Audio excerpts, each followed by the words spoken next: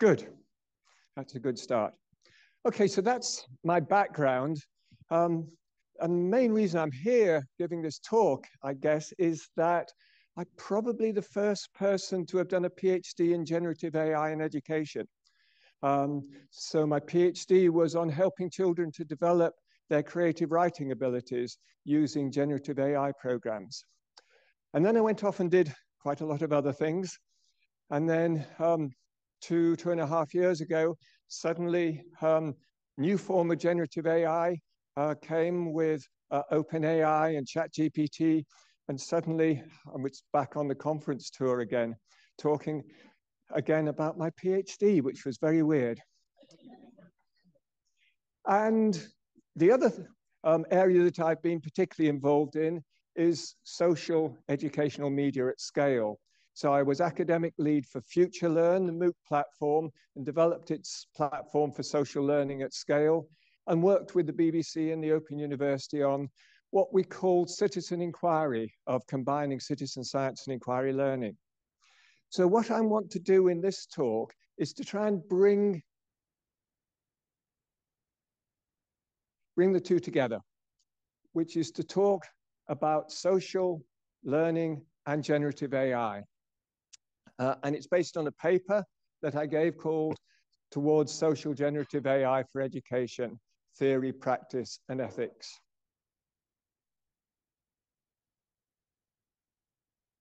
Yes. So this is the basic argument that I'm going to put forward, which is that with each major new technology, whether it's mobile phone, computer games, World Wide Web, we've tended to underestimate the power of the social. So we tended to think of them as individual um, entertainments, individual media, and we hadn't realized that the social was coming. And here are just a few um, quotes uh, about how Fortnite conquered the world, the unexpected health benefits of social media, and from MIT News, why social media has changed the world and how to fix it. So um, social media and social networking is not always good, not always successful, but it's always influential. So, if we underestimate the power of the social, we should prepare now for a future of social generative AI at scale. And here's just one headline from The Economist. Um, Today's AI models are impressive. Teams of them will be formidable. So once AI starts to communicate with each other and also with groups of humans, it's going to be formidable. And what does that mean for education when we have social generative AI? So I just want to give you an example. And this is from a video that was put together by the OpenAI company recently to promote its new version of ChatGPT 4. And what you will see is the equivalent of a Zoom conference with four humans plus an AI. The AI you can see, you'll be able to see on the left-hand side, all engaging in a live video conference. Um, the topic is about cats versus dogs and which are better to have a cat or a dog. But just imagine that it wasn't cats versus dogs, but it was something a lot more controversial. So just imagine that and have a listen. Hi, I'm Lillian, and today I want to do a small debate about between cats and dogs. Uh, which one do you like? Uh, I like dog because it's a great companion to humans.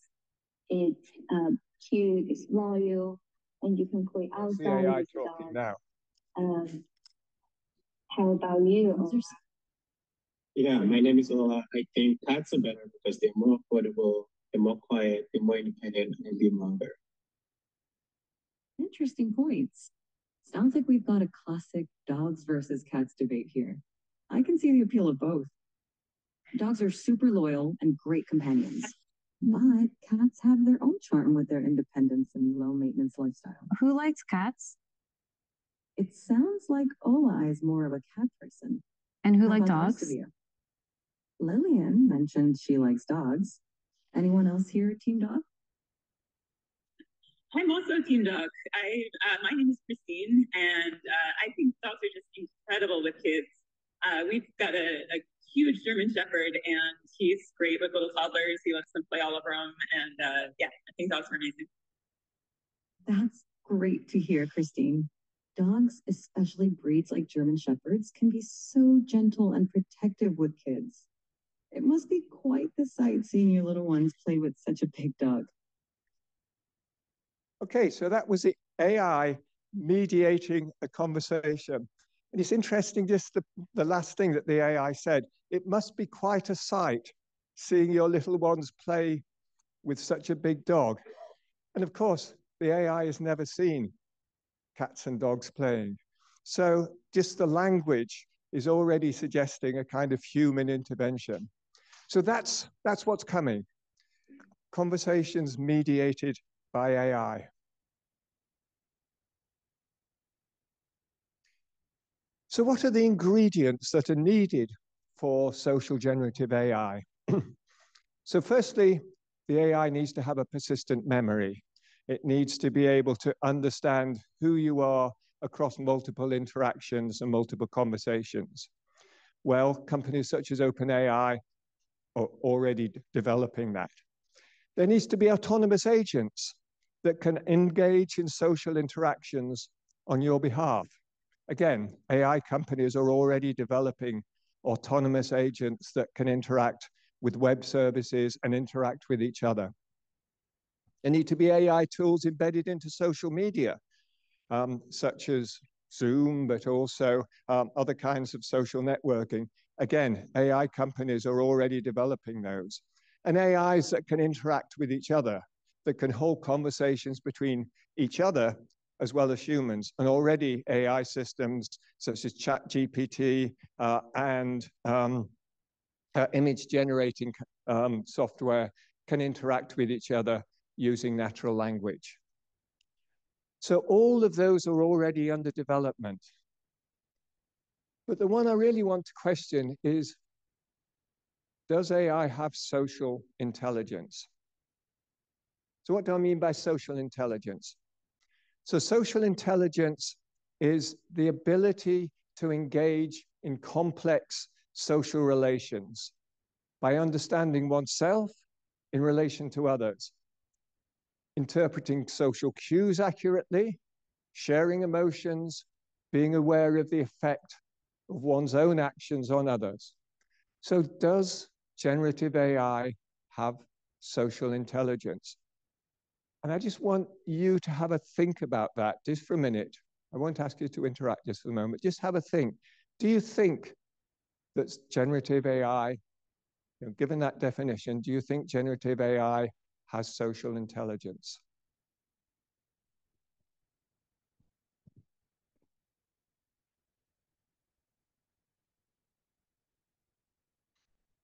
Well, um, I did the obvious thing and asked ChatGPT whether AI has social intelligence. And this is what it said. ChatGPT as an AI language model does not possess social intelligence in the way humans do. However, it's designed to simulate aspects of social intelligence through its ability to first understand context. It can interpret and respond to the context of conversations providing relevant and coherent answers. It can simulate empathy.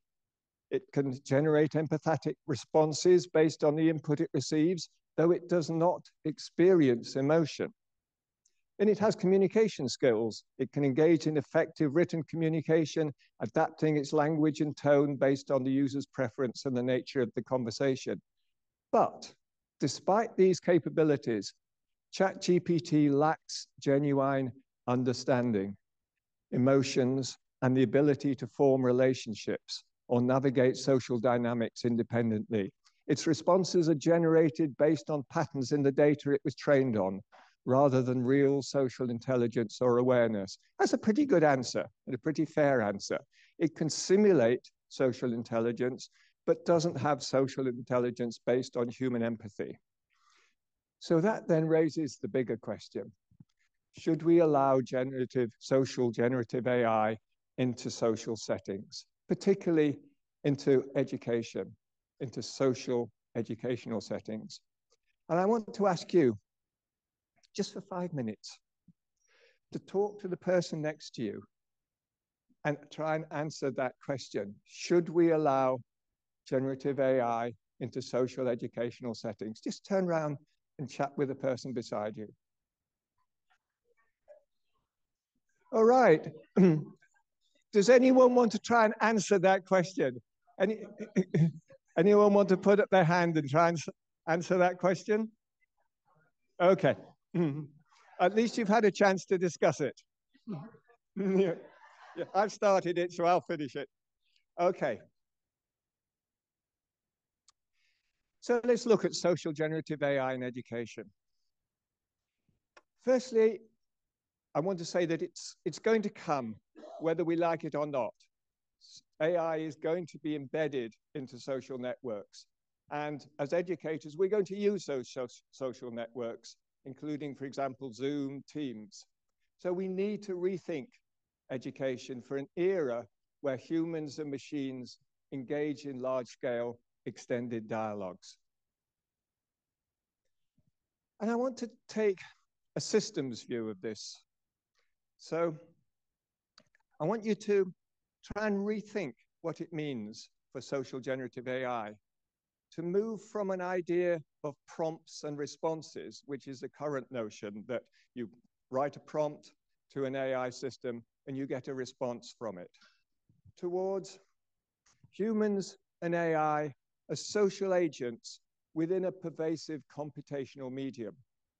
And by that I mean that with social generative AI, you will have continual conversations online with other people, but also involving AI systems. And it's within a computational medium. The AI will be continually interacting with the web and interacting with other AI systems. For example, we've just seen AI moderating discussions. So humans discussing amongst each other and also AI moderating or managing that discussion. Speech translation, where humans are communicating with each other across multiple languages with the AI as the mediator of those conversations. And AI characters in games, where as a human player, you're interacting sometimes with human, um, other human characters, but also AI generated called non-player NPCs, non-player characters. So you will have many different ways of interacting with AI. Now, interestingly, this is not a new concept. The idea and those diagrams are reworkings of ones that were um, written about by Gordon Pask in 1975. He was quite an amazing person, if you haven't heard of him. He was one of the founders of educational media. Um, and he wrote in 1975 a paper called Minds and Media in Education and Entertainment, where he reconceived that notion of moving from interacting with individual systems to what he called individuals as program sharing and linguistic interaction with the, within a pervasive computational medium. So he foresaw, if you like, humans and intelligent um, computing systems interacting with each other. He was a pioneer of AI in education.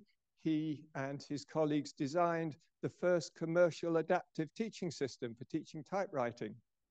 And he also developed a grand theory of learning as conversation, which I just want to touch on now.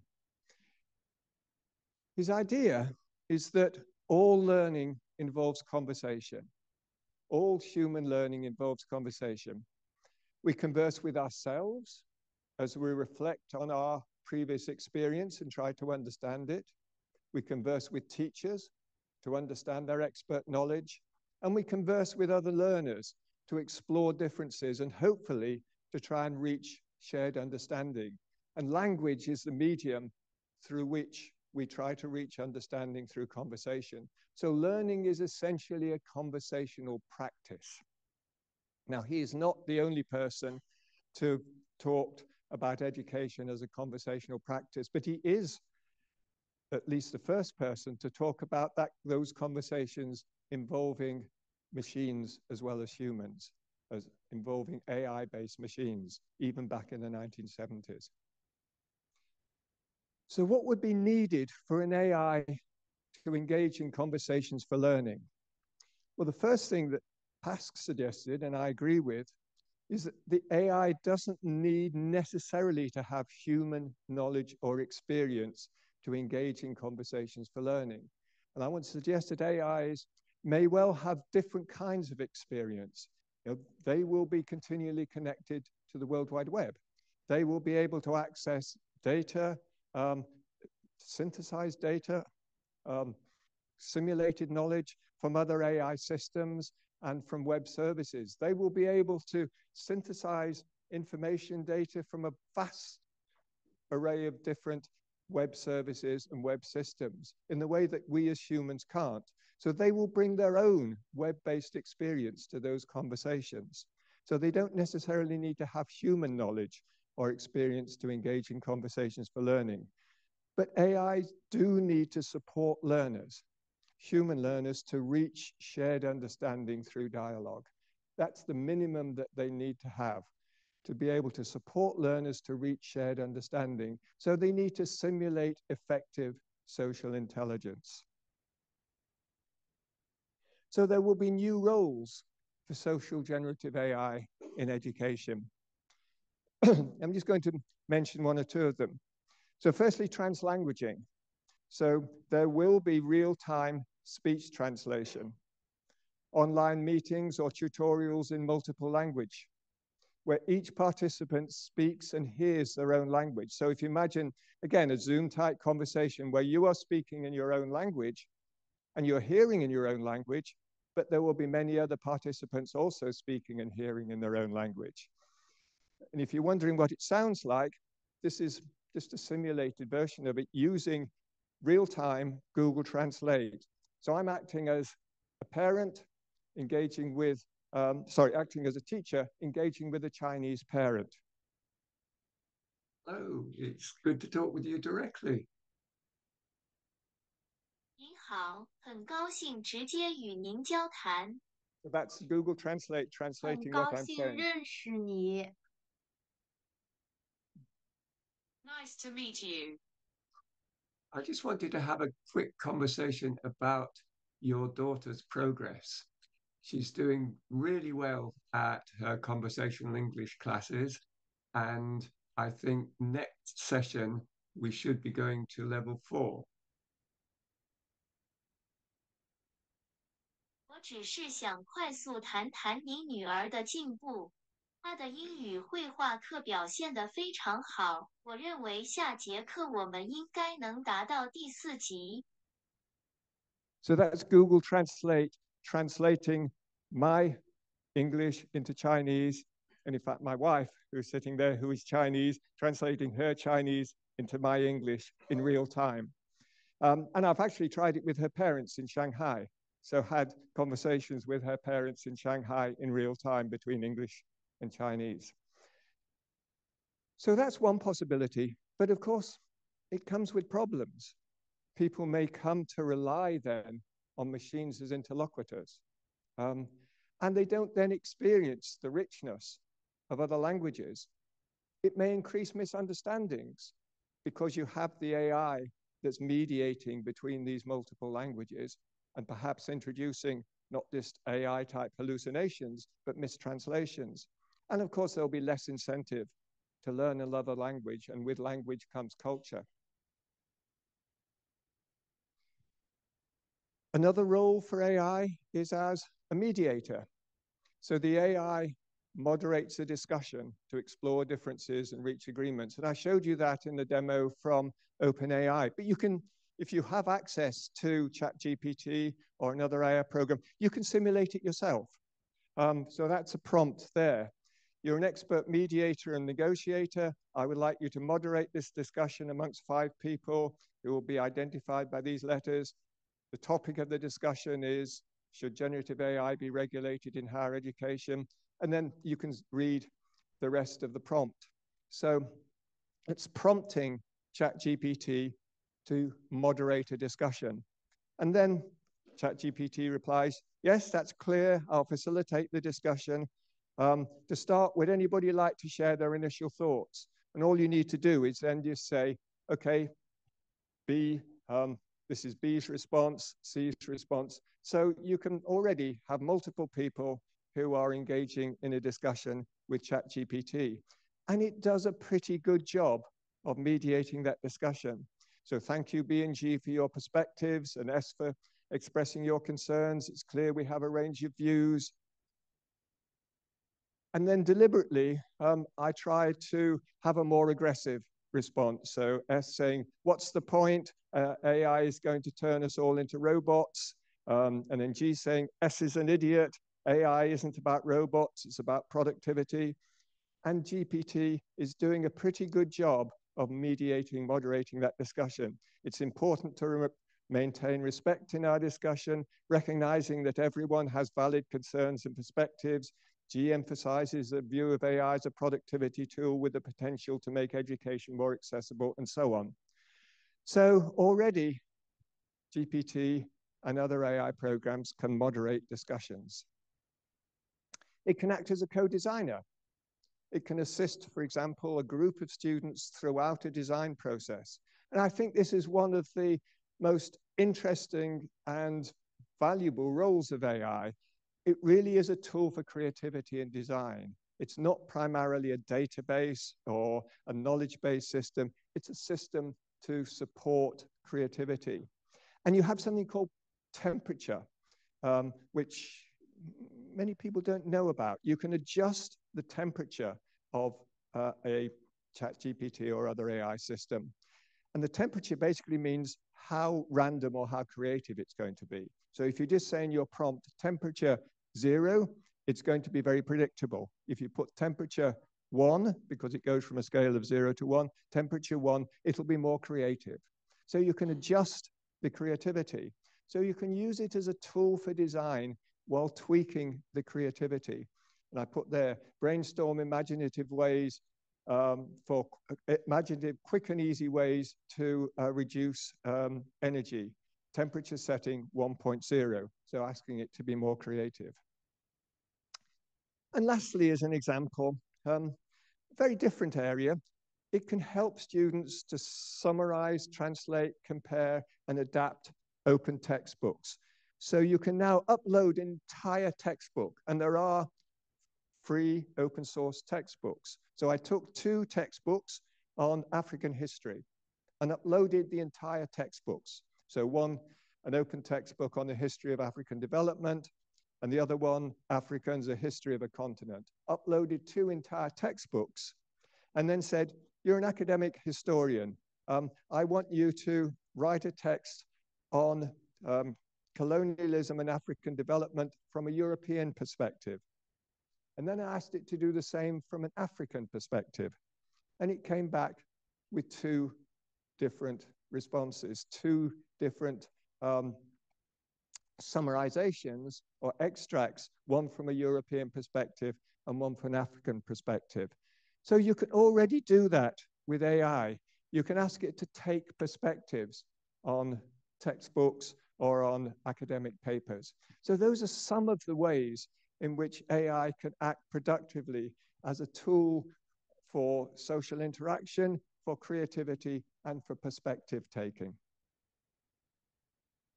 And here are just a few further roles for generative AI in education.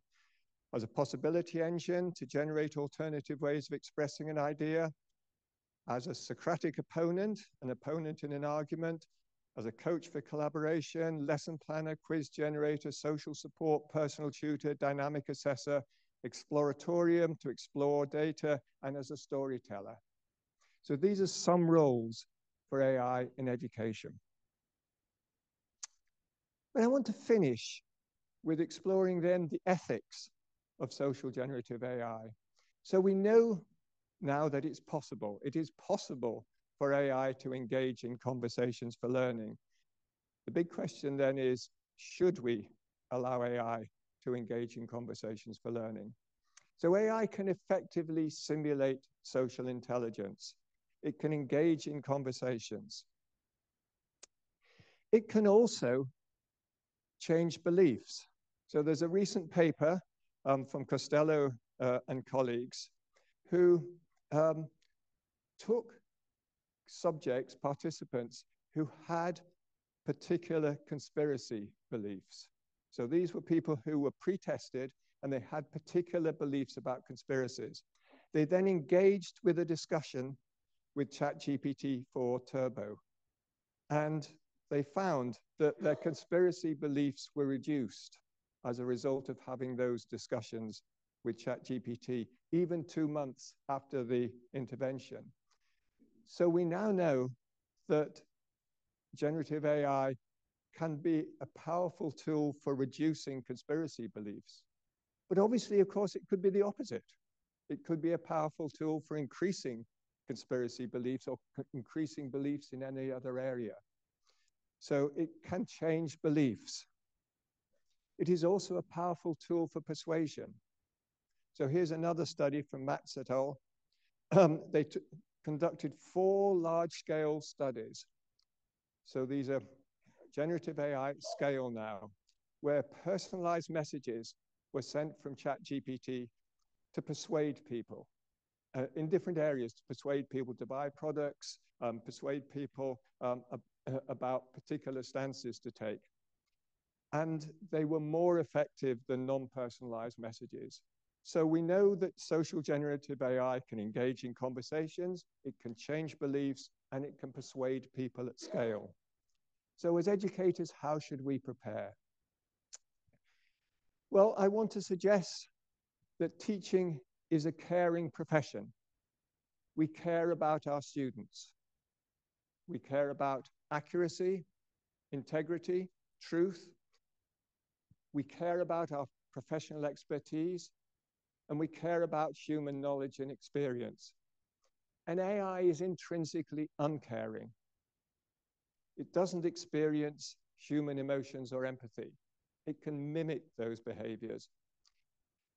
It's fine-tuned, and this is one of the um, achievements of AI companies, which is that they have fine-tuned generative AI for accuracy, diversity, and trust. And they've been moderately successful in doing that.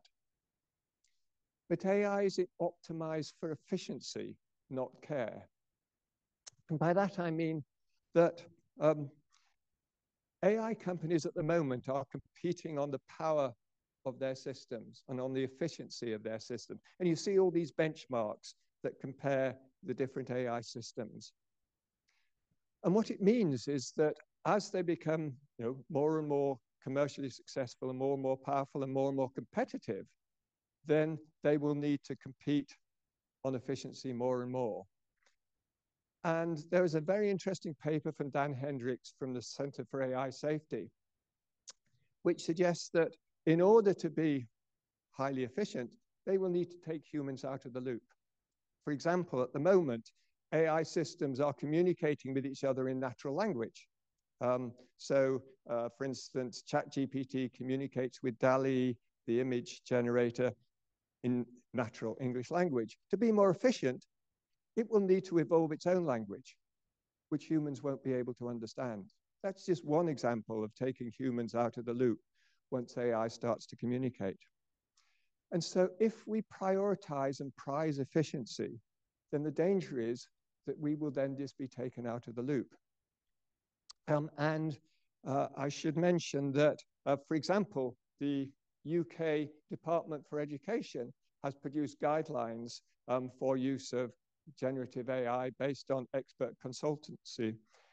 And one of the things that came from those guidelines is that teachers should be using or could be using generative AI to make their workload more efficient. And the, the, the rhetoric of efficiency went all the way through that um, government document. That teachers, for example, can um, make their lesson planning more efficient. They can reduce their time for lesson planning by using generative AI. What will happen then is that you will then come to rely on generative AI for, um, for your uh, educational, for your routine work. And so, you know, if you take that to it, the extreme, you will become then, you know, part of the machine. You will then work to the tune of AI. So I think we all have to think about what is it that we want to optimize? Do we want to optimize efficiency or do we, do we want to optimize care? So I suggest we need to use generative AI with care. We need to bring human care and empathy to AI in education. We shouldn't reject AI, but I think we should have the confidence as educators to work with AI companies to build models that are based on best pedagogy and inclusive education. Because there are thousands, probably hundreds of thousands now of companies that are developing AI-based products for education. Most of them have no clue about how education and how teaching and learning work. We as education professionals have an opportunity to work with some of those companies to debase, base um, AI models on good pedagogy. And by that I mean just simple things like um, expressing that uh, in its response, an AI should um, work through an answer step by step, or an AI should support the learner to understand the problem, not just to give the answer. So there are some basic ways of training AI that are based on good pedagogy. Uh, and just a little self-promotion, I uh, developed myself a GPT, so it's a, a, a version of ChatGPT for teachers called Teach Smart that was based on my book, Practical Pedagogy, 40 New Ways to Teach and Learn. So it's an aid for teachers to help them understand good pedagogy. It's called Teach Smart. You can find it on ChatGPT. So we must prepare now for learning in a world of social generative AI. And here are some resources. So um, some papers from myself, uh, a book, Story Machines, How Computers Have Become Creative Writers, that I wrote with a colleague, Rafael Perez Perez, and a more technical book, An Introduction to Narrative Generators. And I really would recommend the UNESCO, if you haven't seen it, the UNESCO um, guidebook, uh, ChatGPT and Artificial Intelligence in Higher Education, a quick start guide. I really recommend that. So that's what I have to say about social generative AI in education. I think we might have a few minutes for questions and answers. So um, please ask any questions. Thank you.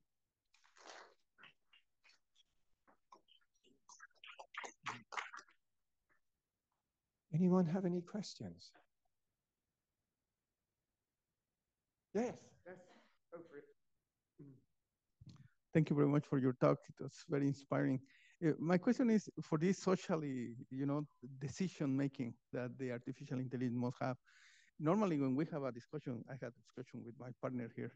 Uh, you have a, a, strong point of view on something, and if you ask the the generator or the AI, uh, I, Eh, eh, what is your posture on these political views or anything that it, requires uh, social context? You know, the environment, what is happening I think that is the the like the hurdle that has to be you know jumped to to give you know socially context to the artificial intelligence. Yes, that's right. Um, so the you know the question or the issue was context, and I think in generative AI, context is absolutely important um, because you know any discussion, any social interaction has a context. Now, AIs have been pre-trained and they've also been fine-tuned to take on a particular perspective. And it's interesting when you interact with AI, they seem to have a persona. And that persona now is a kind of um, liberal American persona. If you have an argument with it, and I'm sure you've tried it yourself, if you have an argument with an AI, um, one of the things it tries to do is you know, it doesn't take an extreme position. It takes a kind of neutral, liberal American position. American because, you know, again, if you give it a cultural perspective, if you try to take a perspective as a European or as a Chinese person, it will definitely have a, an American, a US perspective.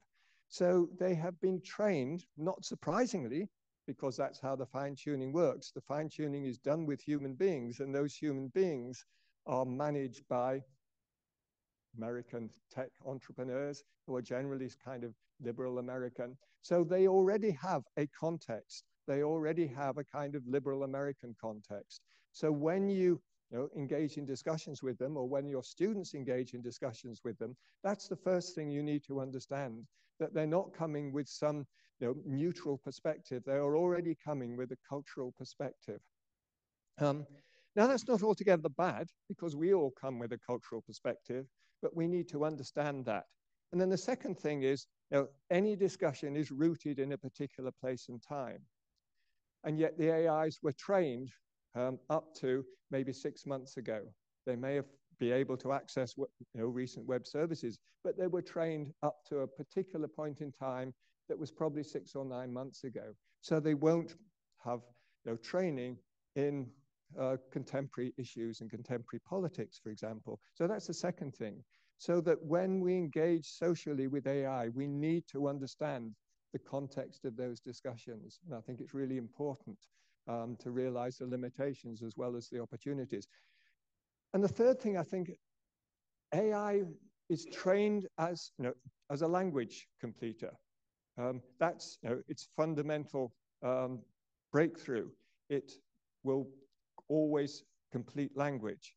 So it will be very reluctant to, say, to not answer, to say, I'm not going to answer this question. It will always try to answer your question when it's writing an article. It will always try to continue that article, whether it has the knowledge to or not. So again, that's the third thing you need to know, that it will always try to continue. Um, whereas humans, you know, if we don't know something, sometimes we just shut up. AIs will not shut up. Um, so we need, you're absolutely right, we need to understand the context of AI and we need our students to understand the context of AI when they engage with them. Any more questions? Yeah. Hi, thank you. It's a nice talk, very informative. I was wondering about, since AI, we all know that it's based on data, data we feed it to as computer science experts and all that, we feed this data to the uh, to the model, to the machine. So basically, since if we decided to leave the decision-making process towards the end, for instance, to Mm, if we having a discussion or something like that, and we leave the decision-making process to an AI entity, do you reckon from your experience it's somehow AI going to be biased since the data it's based on a certain context? Thank you. So the question was, is the AI going to be biased because it's trained on you know, data which is not neutral, which is from the web, and the web is, as we know, is biased? I think that's a very complicated question. Um, firstly, yes, it is trained on vast amounts of data, more data than we as humans have ever been able to process. And we know that that data is not neutral, that it does have inherent biases. But then they went through this, you know, all of the AI systems we interact with now have gone through this additional process of what's called fine tuning. And fine tuning is rather like trying to make the best of a bad job. So we've got bias data. We, um, they've realized that the AI is biased. Companies such as OpenAI acknowledge this right at the start, and then they try to remove the bias by fine tuning it. And that's been a human process. Um, and it's been a rather messy human process. Some of it's been outsourced, we understand, to know, people in Africa and other countries to do that fine tuning. Um, and so you've got a bias system on top of which is an attempt to remove that bias. Um, and so it is going to be problematic. And again, what I would say is that we need to treat it with care we need to realize the process that's gone through um, in order to get AI to where it is. As for decision making, um, AI, generative AI has never been designed at the outset as a decision making system. It's been designed as a text completion system. However, the additional um, work that companies like OpenAI have done allows it now to receive instructions and to make decisions. And in the future, AI systems will become more hybrid. they will have some rule-based decision systems connected to generative AI systems. So they will be more competent at decision making. Um, but they will still make mistakes. So therefore, but then humans make mistakes in decision making. So again, it's not a reason to reject them. It's not a reason to say we will not engage with them or to set up barriers, but it is to really treat them with care and to understand what sort of decision making processes they're going through. Anybody else? It's actually a kind of follow-up um, on the other question. Uh, I was wondering because it's it's trained that the system is trained. So um, I was wondering if what kind of filter it's there before you put the data into the system. Is there any filter yet uh, um, or not? Yes, that's very interesting. So, LLMs, are there filters when they're given the initial training? And that depends on the different AI systems. So they, during their initial training, some of them are given initial filtering, and particularly the company Anthropic that developed um, a competitive AI system called Claude. Claude 3.5 is very powerful. That company um, has uh, made a USP about doing pre-training based on ethical principles. So as part of the pre-training, it was given, for instance, the United Nations Declaration of Human Rights, and rather bizarrely, Apple Company's terms and conditions um, as pre-training to, um, to uh, try and make it more ethically sound from the outset. So it is possible to give an AI pre-training in ethical principles, which then says, for instance, in your response, respect diversity of views or in your response, um, be, uh, uh, be trustworthy uh, and be respectful. So it is possible now to pre-train AI systems um, on ethical principles. And I think when making choices, and we can make choices now as to which AI system to adopt as individuals and as institutions, we need to understand what sort of principles those AI systems were based on when we make our choices. And I would really urge you to work with your universities um, or, or, your education institutions to make informed choices about which AI systems you adopt based on the principles by which they were trained. I think we've run out of time, so thank you.